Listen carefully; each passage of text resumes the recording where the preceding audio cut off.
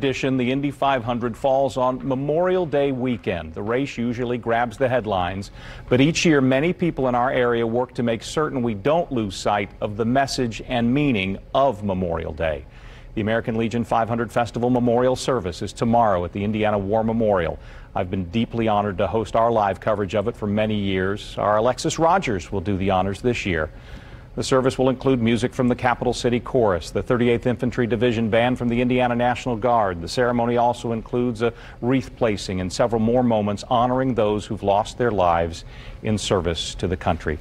Joseph Stewart is part of a Gold Star family. Bob Bryant's a familiar face leading the 500 Festival. Gentlemen, thanks for being with us this morning. Thank you. Thank you. Uh, let's start with your role. For viewers who don't immediately know, a, a Blue Star banner on a home means a son, a daughter, a father, a, a mother is away in service. That changes to a Gold Star, and the family has lost something. Will you share your story with us? That is correct. And I'm actually a Blue Star father. My son is currently serving in the United States Marine Corps. Um, I'm the son of Lieutenant Colonel John Franklin Stewart. He is one of uh, Indiana's 51 still missing in action from the Vietnam War. Um, my dad had a long military service. He was a graduate of Arsenal Technical High School, uh, class of 1951. Uh, and then he attended Purdue University in 52.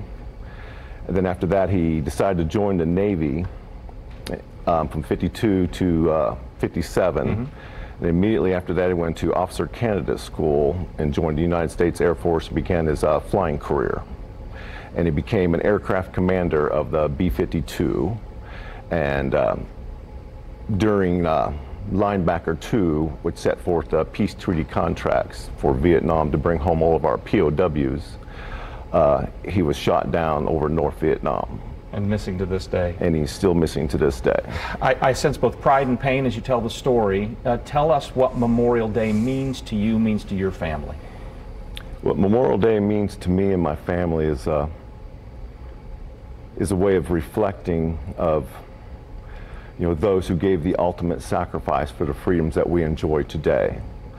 And we use the term so much, uh, freedom is not free. But it's that's that time to thank all those and just, uh, just honor the men and women who did the service in defense of our country and gave that ultimate sacrifice. Bob, as you listen to him, that, that's, that's always been the message of the 500 festivals uh, participation and organization of this. 500's in the name, and the race is something everybody enjoys, but you won't let folks remember this as Memorial Day weekend. That's correct. Yeah, I, you know, we, we do a lot of fun events and activities throughout the month of May. We're leading up to the greatest spectacle in racing, but we are a nonprofit community organization with a long history of really supporting the military and supporting what Memorial Day is all about. Uh, so for so for us, that that um, American Legion 500 Festival Memorial Service is an important time for us to help all of the community come together and in particular, working closely with Gold Star families in Indiana. Uh, the pandemic has thrown so many curveballs at everybody. The 2020 version of this happened, but it was very different. We're a little closer to normal this year.